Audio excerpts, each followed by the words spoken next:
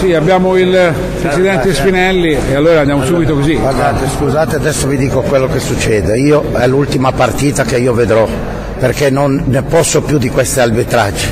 Basta. Questa è la mia ultima partita, io e mio figlio usciamo da Livorno, diamo le dimissioni, ci sarà nominato un sostituto, non lo so chi sarà, nomineremo un commissario, io ho finito, perché sono scandalose le cose che sono successe, sia a pescare sia stasera, l'avete visto tutti. Questo non è che no, no, noi non possiamo tollerare, io non ce l'ho con i giocatori e non ce l'ho con i tifosi perché i tifosi sono stati esemplari, però io non posso più tollerare queste cose, se vogliono che io vada via avranno la soddisfazione che io non ci sarò più nel calcio, basta, questa è la mia ultima partita, scusatemi ma questo è definitivo che tre, due segnalini, un arbitro non vedono queste cose, a pescare idem patate, basta, io ho finito.